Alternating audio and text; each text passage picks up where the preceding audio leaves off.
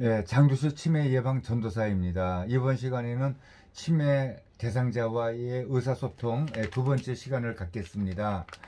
예, 열 번째, 가까운 곳에서 얼굴을 마주보고 말한다. 치매 대상자는 그 시력과 청력에 장애가 있는 경우가 많으므로 가까운 곳에서 이렇게 말해주는 것이 좋다. 또한 대화에 집중하고 있다는 것을 보여주기 위해 얼굴을 이렇게 서로 예, 마주보고 말하는 것이 좋다.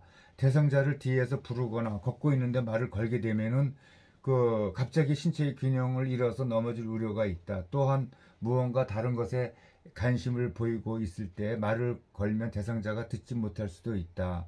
예, 이거는 뭐 일반적인 그 상식적인 이야기입니다. 그 열한 번째, 항상 현실을 알려주도록 한다.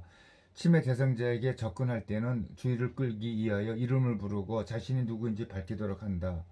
그리고 또 일상생활을 할 때에도 그 8시에요. 아침 식사하세요. 또 10시에요. 예, 주무세요. 라고 말하며 항상 현재 상황을 알려주도록 한다. 그렇죠. 예.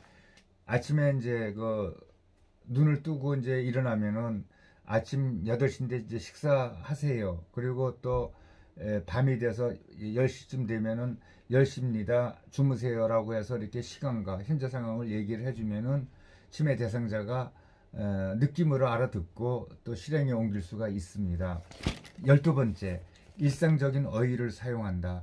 치매 대상자하고 말할 때에는 유행어나 에로의 사용을 하지 말고 일상적인 어휘를 사용한다. 이건 뭐 당연한 얘기죠. 그 요즘에 그 유행하는 얘기를 하면은 그 치매 대상자는 전혀 알아듣지도 못하고 내가 조금 어 뭐 영어를 좀 한다고 해서 영어로 얘기하면은 그 치매 대상자는 더더욱 뭐 전혀 뭐 관심도 안 보이고 모릅니다. 그리고 대상자가 들어보지 못한 낯선 어휘를 사용하면 대상자가 아 불안해 할 수가 있어요. 자기가 뭐, 어, 어떤 알지 못하는 내용이 나오니까 그리고 자신과 말하고 있는 상대방이 누구인지를 잊어버릴 수도 있, 있고 때로는 고향 사투리를 말을, 말을 걸어보는 것이 좋은 방법이 될 수도 있다. 예, 이 내용은 좀 중요합니다. 만약에 그 치매 대상자가 뭐 충청도 사람이라면은 예, 충청도의 그 그런 방언 사투리를 좀 안되면 그거를 좀 써줘도 예, 좋을 거고 아니면 경상도 전라도의 그 치매 대상자 어린 신이라면은 이제 그쪽에 사투리를 그 옛날 그 사투리를 이렇게 써주는 것도 예, 좋은 방법이 될 수가 있습니다. 그거는 그분하고 나하고의 어떤 그 소통 관계, 커뮤니케이션이 이렇게 이루어질 때 할 수가 있는 거죠. 그 열세 번째, 각오를 해상하도록 한다. 치매 대상자는 지난날을 해상하면서 자신을 되찾을 수 있고 불안한 감정을 가라앉힐 수가 있다. 옛날에 즐겨 부르던 노래를 부르거나 옛 일을 해상하는 것 등으로 대화를 이끌어 나가는 것이 도움이 된다. 그렇습니다. 그 치매 그 어르신들이라고 하더라도 그 옛날 기억은 잘 기억을 하고 있습니다. 그 최근의 기억은 거의 뭐 잊어버리고 살다시피 하겠지만 옛날에 그 시골에서 아니면 고향에서 살던 옛날에 그 추억이 어린 것 그런 부분들은 아주 잘 기억을 하고 있기 때문에 그 옛날에 뭐 이렇게 동료라든지 이렇게 쉬운 노래를 같이 불러주는 것도 좋고 또 과거에 있었던 일을 또 해상을 해, 하면서 서로 이렇게 그 이야기하는 것도 좋은 방법이 됩니다. 예, 나 비언어적인 의사소통 첫 번째 손짓 발짓 또는 소리를 사용한다. 귀가 잘 안 들리는 대상자에게는 손짓 발짓으로 표현하고 눈이 잘 안 보이는 대상자에게는 말과 함께 소리로 또 표현을 해주어야 한다. 두 번째 언어적인 방법과 비언어적인 방법을 같이 사용한다. 뭐 예를 들어서 세수를 했는지 이렇게 물어볼 때 그냥 말로 세수를 어, 하셨습니까? 라고 이렇게 하는 것보다는 저기 어르신 세수하셨 이거 세수하셨어요? 이렇게 해서 예, 해주는 게 그 치매 대상자가 얼른 알아듣고 뭐 답변을 하든지 반응을 보입니다. 그 세 번째 예, 신체적인 예, 접촉을 사용한다. 대상자와 눈을 맞추고서 미소를 지으면서 예, 눈을 맞추고 미소를 지으면서 대상자가 좋아하면 또 손이나 어깨를 이렇게 조금 이렇게 감싸는 등의 신체적인 접촉을 또 한다. 그 밖에 부드럽고 따뜻하게 손을 잡아주거나 눈 맞춤, 고개를 끄덕여주는 그런 행동을 통하여 대상자의 기분을 이해하고 있다는 것을 또 표현을 예, 해준다. 네 번째, 치매 대상자의 비언어적인 표현 방법을 관찰한다. 대상자가 표현하고 있는 모든 그 비언어적인 표현 방법을 관찰하고 특히 그 느낌의 표현에 주의한다. 예를 들어서 뭐 얼굴 표정, 예, 아주 뭐 기분 좋으면 막 이렇게 이런 표정을 짓겠죠. 그리고 신체의 움직임, 또 눈빛, 예, 손과 몸의 움직임 등 이렇게 좀 관찰할 필요가 있습니다. 그리고 내가 어, 어르신하고 이제 그 얘기를 할 때는 예, 되시는 대로 뭐 얼굴 표정 뭐 이렇게 써가면서 제스처도 또 써가면서 좀 얘기를 해주게 되면은 그 알아듣는데 좀 도움이 됩니다.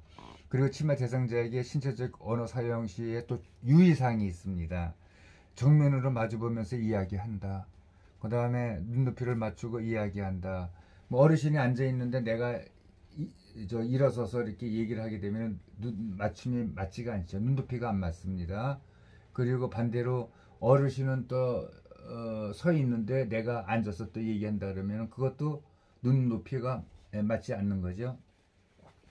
치매 대상자가 이업적으로 느끼는 자세를 취하지 않는다. 예.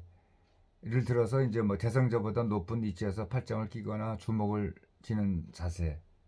또 치매 대상자에게 관심을 보인다. 예를 들어서 미소를 짓거나 손을 잡기. 예, 미소를 이렇게 그 웃음을 띠면은 예, 미소를 띄우면은 아무래도 치매 대상자가 아무것도 모르는 것 같아도 이렇게 좀 부드러운 그 마음을 가질 수가 있겠습니다. 그리고 손을 잡는 것도 예, 서로 이렇게 그 좀 친근한 예, 그런 표현이 될 수가 있겠고요.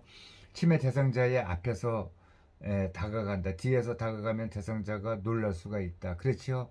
예, 대상자는 그 사소한 것에도 이제 놀라기가 쉽습니다. 그렇기 때문에 절대로 예, 뭐 뒤에서 이렇게 뭐 이렇게 그 어떤 동작을 취하면 안 되겠습니다.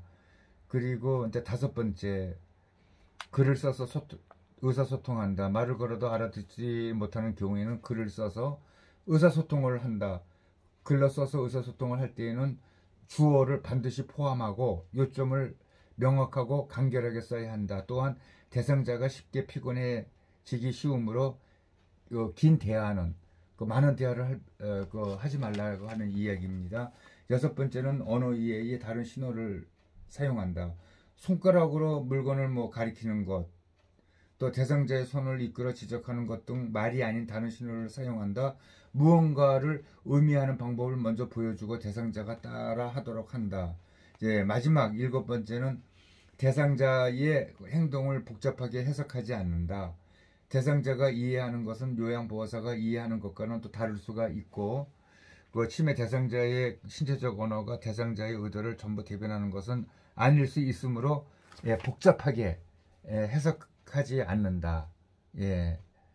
그 이성과 같이 이제 그 치매 어르신과의 그 의사소통에서는 여러 가지 이렇게 그 중요한 그 부분이 많이 있습니다.